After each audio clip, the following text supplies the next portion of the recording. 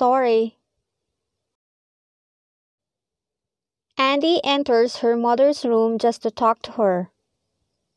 Pumasok si Andy sa kwarto ng kanyang ina para kausapin siya. Mom, are you busy? Ma, busy ka ba?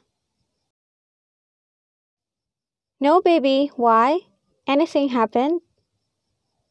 Hindi anak. Bakit? May nangyari ba? Could you spare me a minute? Pwede ba kitang makausap saglit? Sure. What is it? Are you sick? Oo ba? Ano yon? May sakit ka ba? No, Mom. It's just that I can't lie to you anymore. Hindi, Ma. Hindi ko na kasi kayang magsinungaling pa sa'yo. Lie on what? Are you hiding something on me? Sinungaling saan? May tinatago ka ba sa akin? Tell me, I'm not going to be mad at you. Sabihin mo sa akin, hindi ako magagalit sa'yo. Remember what happened to your eyeglasses yesterday? Natatandaan mo ba yung nangyari sa salamin mo noong isang araw? It was my fault. Kasalanan ko yon. Oh, sweetie, I actually had a thought of that. Naku anak, yan din nga inisip ko. Don't worry baby, I'm not mad at you. Huwag kang mag-alala anak, hindi ako galit sa'yo. But I broke your eyeglasses.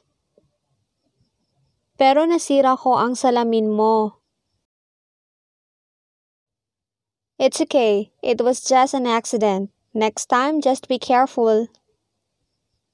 Ayos lang, aksidente naman yung nangyari. Sa susunod, mag-iingat ka na. I feel guilty. You shouldn't buy a new one. Nakokonsensya ako, hindi ka na sana bumili ng bago. Like I said, it's okay. Never mind it. Besides, it's all then. You gave me reason to replace it. Gaya ng sabi ko, ayos lang. Hayaan mo na, isa pa luma na din yon. Binigyan mo ako ng dahilan para palitan yon. You sure you're not mad at me? How about Dad? Does he know about this? Sigurado ka ba na hindi ka galit sa akin? Eh si Papa, alam niya ba ang tungkol dito? Yes, and we talked about it. He's not mad either. Oo, alam niya at napag-usapan na din namin. Hindi din siya galit. Thanks, Mom, and I'm sorry. Promise, I will not do it again. Salamat, Ma, at patawa din po. Pangako, hindi ko na po uulitin.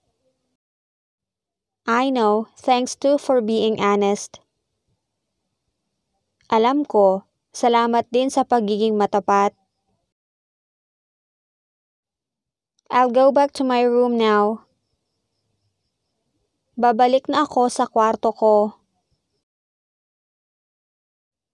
That's better. You should have been sleeping right now. Mabuti pa nga, dapat natutulog ka na ngayon. Yes, Mom. Tomorrow I'll help you clean the house. Salamat ma, bukas tutulungan kita maglinis ng bahay. Well then, I'll be glad if you do so. Kung ganoon, matutuwa ako kung gagawin mo yan.